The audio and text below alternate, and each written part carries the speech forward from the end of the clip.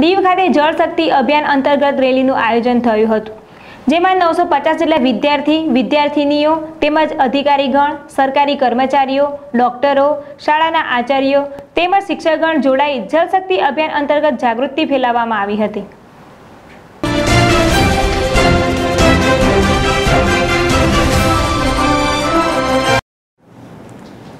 દીવ પ્રશાસન દ્વારા જ્યારે જળશક્તિ અભિયાનને જોરશોરથી વેગ આપવામાં આવી રહ્યો છે, ત્યારે દીવ જિલ્લા કલેક્ટર હેમંતકુમારના માર્ગદર્શન હેઠળ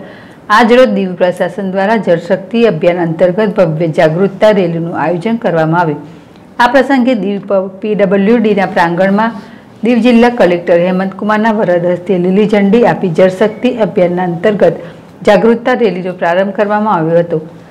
આ જાગૃતતા દીવ જિલ્લા collector Hemantkumar mamlatdar Chandrahas Vaja, director of education Dilawar Mansuri,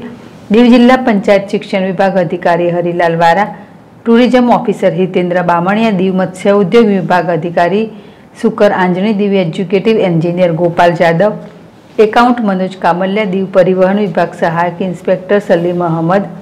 અધિકારીગણ ડોક્ટરો, સરકારી કર્મચારીઓ, સારા આચાર્ય તેમજ Diu higher secondary school, Nirmala Mata school ટીટીઆઈના middle સ્કૂલના મરીને નવસો પચાસ જેટલા વિદ્યાર્થી વિદ્યાર્થીનીઓ આ ભવ્ય રેલીમાં જોડાયા હતા. માધ્યમથી જળશક્તિ અભિયાન પ્રત્યે જાગૃતતા ફેલાવતા દિલ્હીના મુખ્ય માર્ગો પરથી પસાર થઈ પદ્મભૂષણ સ્પોર્ટ્સ કોમ્પ્લેક્સના પ્રાંગણમાં સમાપન કરવામાં આવ્યું હતું, જ્યાં ઉપસ્થિત તમામ લોકો દ્વારા શપથ ગ્રહણ પણ કરવામાં આવ્યા હતા.